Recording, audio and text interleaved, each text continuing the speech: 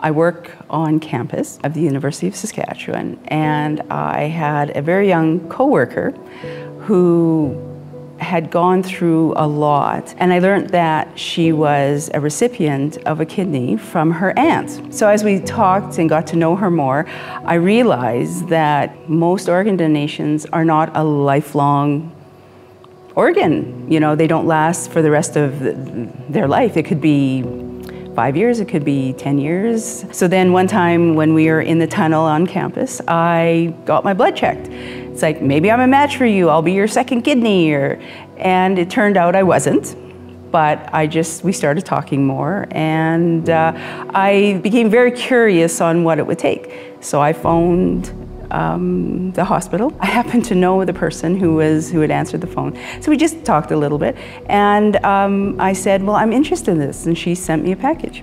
And so then it, be it became talking to my family about it. It was an interesting conversation because I wanted truly to set an example of what it's like to truly share. So when I started talking to my husband, he wasn't quite sure. I had to convince him.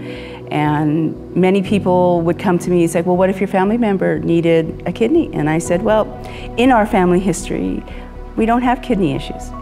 And our family is so large that I know if someone needed one, we're not alone. So I just uh, worked through the process for a year, never knowing. I found out so much more about myself and how healthy I am, and um, was determined to follow through with it. And every time was more and more exciting. Uh, and then when I got the call that there was a match in a different province, it was, well, let's do this. My husband was on board and it's like, let's go. That was kind of the start of it. And now like I'm an advocate as often as I can to talk about it, to demonstrate it. I give blood on a regular basis. I actually asked about a liver donation recently, but I'm a little older and I've given a kidney, so I'm not, I'm not, but I, you know, you give what you can. I, I think it's an, it's an important thing. What's interesting about this friend of mine, her kidney from her aunt is still alive. 20 years later. And then like she got pregnant and she wanted one child and it's like that baby knew because that all the ultrasounds showed that baby hugging her kidney, not pressuring it, not whatever. So it's just like those kind of stories like are just are huge to me.